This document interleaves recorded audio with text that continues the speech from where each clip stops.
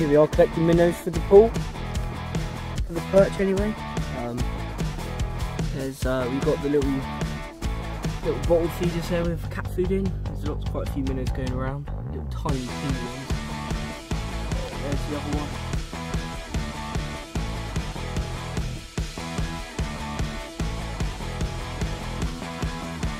Uh, emptied them all out into the bigger into the bigger bottle, and oh my, we've got quite a bit in there.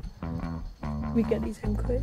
Get them home quick and stick them in the pool. Uh, the fish, and at one at a time, you just put, chuck them in there.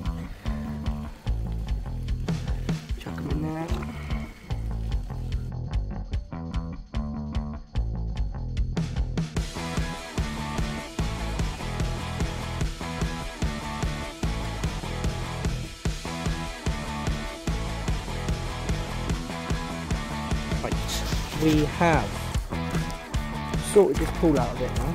Made a bit of like a nice rock structure there. Rock structure there with the pump.